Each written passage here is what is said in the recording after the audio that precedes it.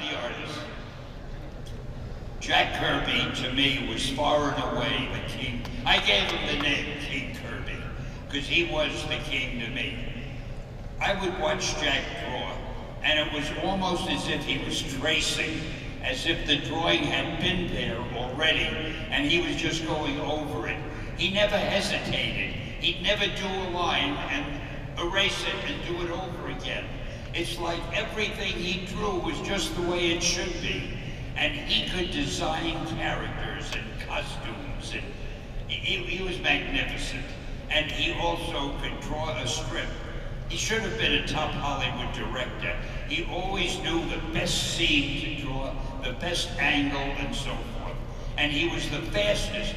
Good as he was, he was faster than anyone else. So he would be number one for me. Right after that came all the other guys. I mean, John Buscema, he was like a, an Italian master, you know, the way he drew. He's fabulous. John Romita, we couldn't have existed without him. Anytime I needed help on anything, if he had to imitate a Kirby job, because Kirby was sick, he would do it and you'd think Kirby drew it.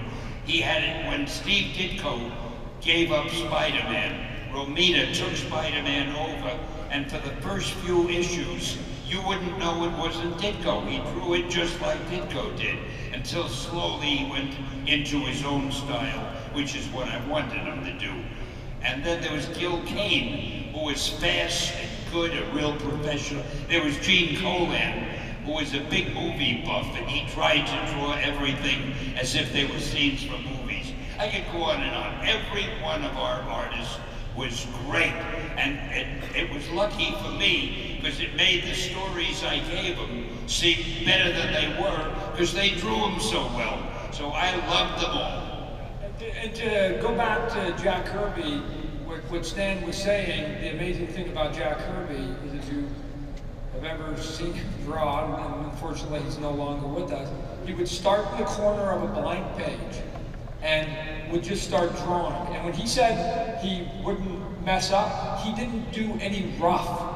Like if you got any sketches today, every one of the guys probably did a little bit of a rough, and then they started getting tighter with their pencils. Jack Kirby did none of that. The rough was all in his head. It was in his head. He was looking at a black, a blank piece of paper. He would start to draw at the corner, and he would just fill it in, and then the page was done, and there was no it just was magic, right? It was